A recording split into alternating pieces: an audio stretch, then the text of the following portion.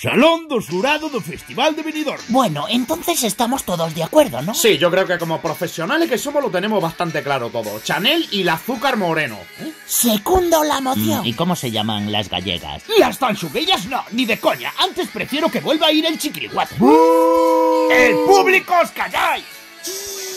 Dirección de Radio y Televisión. Excelente, qué bien hemos hecho al contratar a estos inútiles. Hasta yo, sin saber cantar, podría ir a Eurovisión. Y tronco, ¿qué hacemos si la tansuguera tiene el apoyo del público? Ah, fácil, tío. Le metemos 55 puntos al Chanel, otros tantos a Azúcar Moreno y a los que vengan detrás. Y esperemos al que no se dé cuenta del tongazo.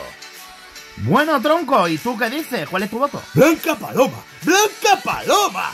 Sí, me gusta, también la podemos meter, pero puede ser mucho cantar. Sí, pero el público tendrá que entender que los expertos en música somos nosotros. Ahí le has dado. Voy a pensar en cómo podemos hacer para que las tansugueiras no pasen a la final.